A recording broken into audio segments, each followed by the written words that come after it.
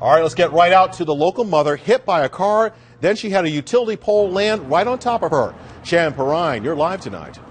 Well, she was hit by that utility pole after she was hit by the car, Andrew. I'm going to show you the scene. You can still see the caution tape is up here. That's because utility crews still have to get in here and replace that pole that was knocked down that did hit that woman walking her two young children.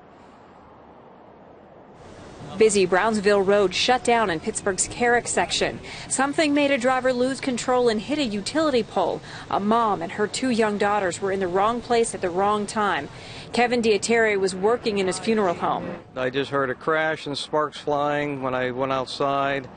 Uh, obviously, there was a vehicle took out the phone pole, and a girl was laying on the ground. She had two little kids with her there, and another lady.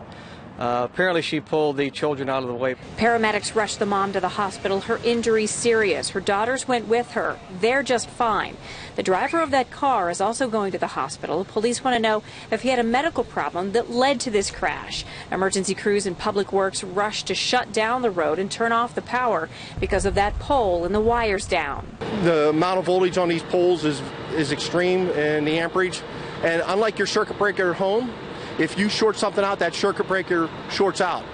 These really don't have that circuit breaker. So if it would hit you, it thinks that you're a load. It thinks you're a toaster, and it would just cook you until you're done. Very so dangerous. very dangerous.